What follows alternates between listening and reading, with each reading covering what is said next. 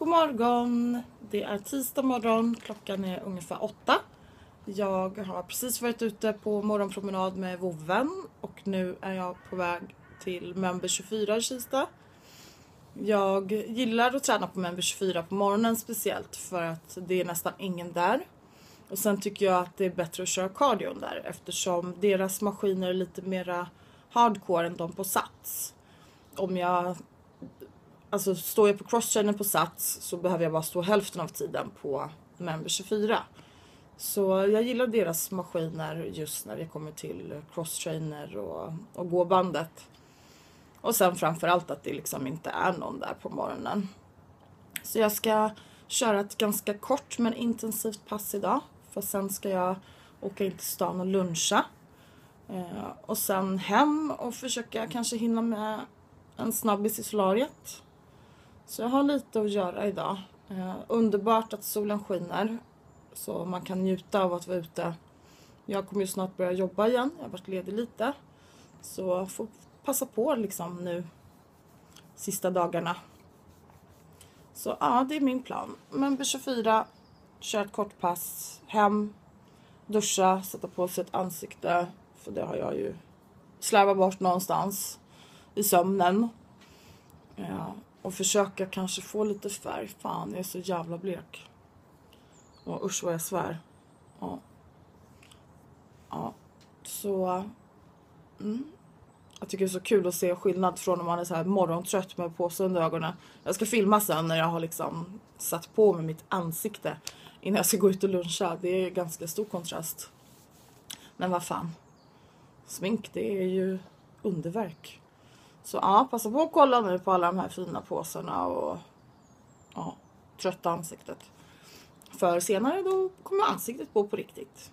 Känns inte som någon idé att så ha värsta glamsminket på gymmet. Jag är inte där för att underhålla någon. Jag är ju där för att bli smal. Så ja, nu ska jag byta om och sen så kör jag. Puss och kram! Då är jag framme. Nu är jag på Members 4. Kolla min söta outfit. Jag har min, den här supersnygga sportbehån under. För jag tänkte jag ska inte skrämma slag på folk. Kolla, lite mage är borta. Men de här jävla byxorna, de stryper ju typ blodtillförseln. Ja, så nu blir det lite cardio. Sen vet du fan, kör kanske lite armar. Jag tar lite som det kommer idag.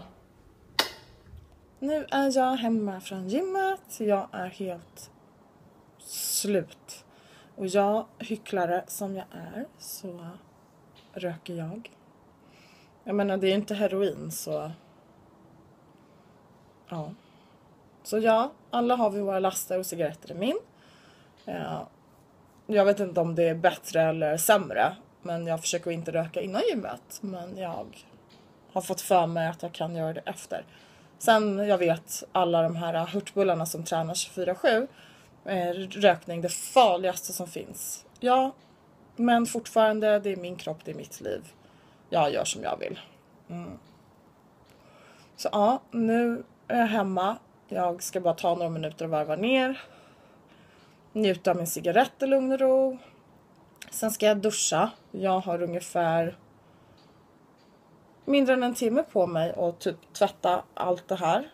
Mitt hår tar ju typ ja, en halvtimme att torka. Så jag tror att det kommer bli så här. Jag kommer att duscha, jag kommer att tvätta håret. Jag kommer spendera en halvtimme till att torka mitt hår.